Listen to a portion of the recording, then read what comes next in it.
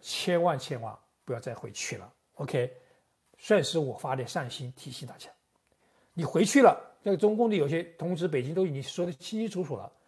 四十万医疗费都已经明码标价了，这隔离费平均是三五百，有些人最高的时候六七百七八百，隔离十四天就一万多块钱，有些人都在那个旅馆里面直接把那个录像就拍出来了，还有一些火神山是回去的民工，参加火神山建设被中共吹得像天籁英雄，回到他原地就隔离十四天，隔离费还要他自己出。对吧？又给他们宰一把，所以这种情况，在美国是绝无可能出现的。OK，告诉大家啊，我说话是负责任的。所以这是疫情，关于疫情，我希望大家知道：第一，西方国家、欧美国家很快这个那个 peak 那个高峰已经到了，现在在往下走了，所以以后会变成常态，也不会马上结束。但是这种常态，社会是可承受的。比方说，美国五月份可能开始复工了，啊，四月份以后就可以，四月下旬以后就开始陆陆续续。恢复正常，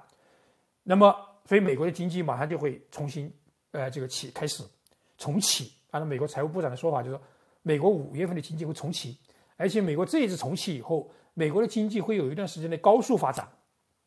这个我不展开讲了，大家也要明白。所以这个时候适当的进股市，适当的在美国投资，在三年以后，你们都会来感谢谭百桥。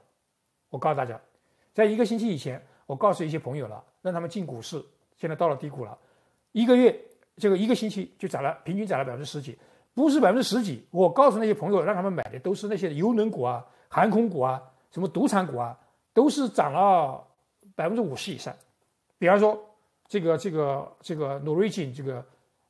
从八块涨到现在十二块，就涨了百分之五十吧。呃，比方说这个这个这个赌场 Win 从四十几块现在涨了七十几块，快了翻倍了。就一个星期，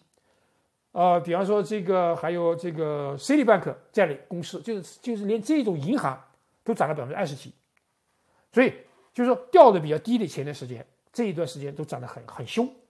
那就有些股票它基本不动的，所以像有一些那些美国的那些传统企业啊，像可口可乐啊什么的，有一些公司它就是你你你你不管怎么样，它公司不太受什么影响的，所以它它的股票也跌得不凶，但涨的时候它也涨得不凶。所以涨跌的凶的那些股票，它这次涨得也凶，所以说你看起来好像只有百分之十几，实际上这些股票都远远超过百分之十几，一天都涨百分之十几。所以，那我跟朋友们的建议都是让他们买这一类的股票，就是跌的最凶的，这进入低谷了的。